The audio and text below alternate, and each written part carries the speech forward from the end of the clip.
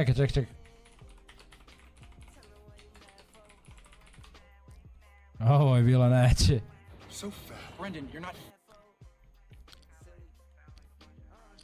Jevo te to, vidi ovo.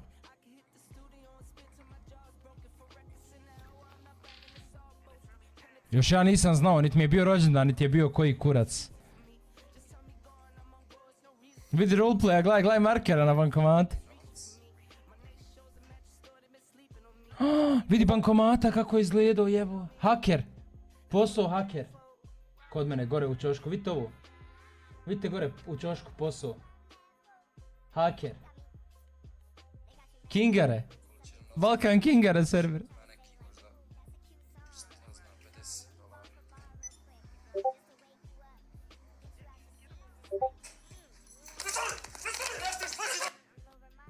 I buraz povučem računar. Znači povučem računar brate nogom i i brate znači iskopčam sve u pofrke i ne mogu brate da upalim računara. Svi me živi zovu. Šta je bilo, šta je bilo. Što ste priveli? Ko, ko je ušao ono?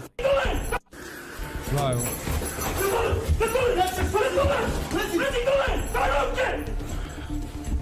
Još ovo moj drug šljivo buraz. On fazon, brate, lik odvaljen od brda, razumiješ sve ove policijske kurce, zna, brate moj. Prostor, ono ovo, sve, brate. Gledaj, brat donio lise, donio pancire, donio sve, buraz.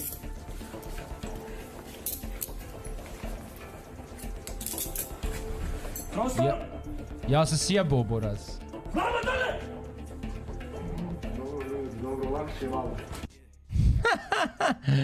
I onda kaj je lik u igrici kaj ja nemam fira od policije, kaj ja nemam fira od policije, druže, znači. Samo ovaj moj drug da ti uleti, znači sjebao bi se.